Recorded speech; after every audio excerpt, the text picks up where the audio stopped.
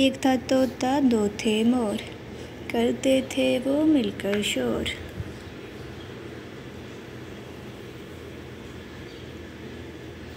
तीन थे हिरन, चार थे बंदर। फुर्ती बहुत थी उनके अंदर। एक दिन आए पाँच शिकारी, हो गए सब पे है बत्तारी।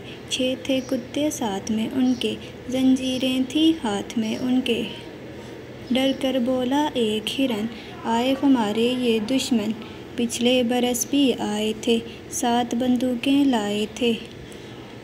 आठ खरगोश मरे थे। जंगल में सभी डरे थे। मोरनी बोली, रोता क्यों है? अक्ल को अपनी खोता क्यों है? माना कि तेरे हैं नौ हैं बच्चे। मेरे भी तो हैं दस अंडे।